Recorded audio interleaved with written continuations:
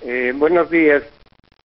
Justamente hace unos momentos dentro de la ceremonia de posesión con el pueblo indígena del presidente Correa, fuimos informados de esta situación por el jefe del Comando Conjunto. Él nos ha indicado que se han tomado ya las conexiones respectivas para aplicar la cartilla de seguridad con las autoridades militares colombianas. En principio parece que un grupo de soldados y conscriptos ecuatorianos, no sabemos bien las razones, eh, se apegaron al lado colombiano de la frontera y fueron capturados por las fuerzas militares de Colombia. No ha habido ningún incidente mayor.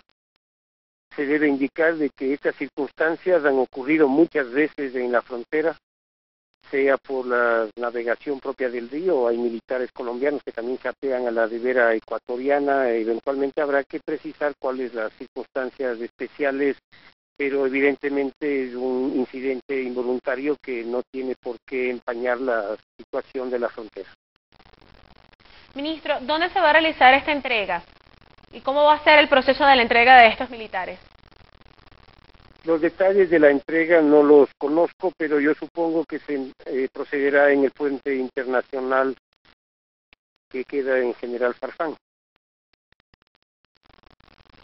Ministro, ¿y cuál es la posición entonces que asume el gobierno ecuatoriano ante esta situación?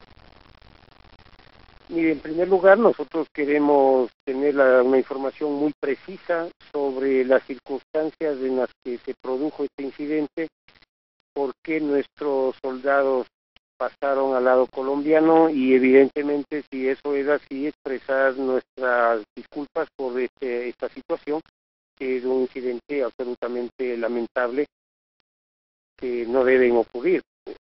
Yo debo señalar que estas circunstancias, voy y repito, han ocurrido muchas veces Muchas veces soldados colombianos han, se han apegado a las orillas ecuatorianas o hemos ocurrido inclusive en situaciones de dificultad a, los soldados colombianos. Esta es la situación propia de, de la frontera y creo que no debe agrandarse ni magnificarse este incidente.